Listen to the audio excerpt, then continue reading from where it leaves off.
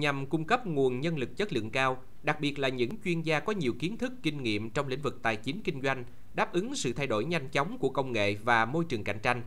Trường Đại học Kinh tế Thành phố Hồ Chí Minh phối hợp cùng Đại học Quebec at Montreal, Canada đào tạo thạc sĩ quản trị kinh doanh cấp cao. Chương trình bao gồm 15 môn học kéo dài trong 16 tháng. Điểm nổi bật nhất của chương trình thạc sĩ quản trị kinh doanh cấp cao là uy tín chất lượng của chương trình đã được thừa nhận với hơn 30 năm phát triển và thành công tại hơn 13 quốc gia trên thế giới. Đại học Quebec at Montreal là một trong những trường quản lý kinh doanh hàng đầu của Canada, được cấp chứng chỉ EQUIS, chứng chỉ dành cho những trường quản lý kinh doanh tốt nhất thế giới.